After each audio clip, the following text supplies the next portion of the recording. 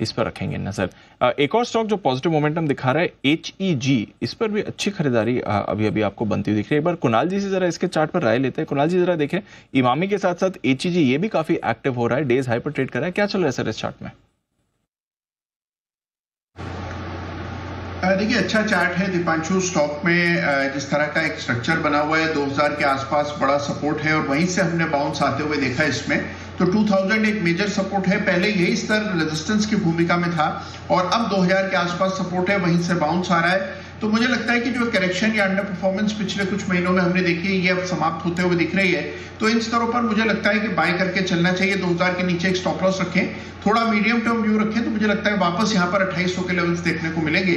तो गिरावट में मेरी खरीदारी की राय है एचईजी में तो 2000 के स्टॉप लॉस से बिल्कुल बाय कर सकते। 2000 के स्टॉप लॉस से एच में करें खरीदारी, ये स्टॉक भी ज़बरदस्त एक्शन में आता हुआ दिख रहा है आज के सेशन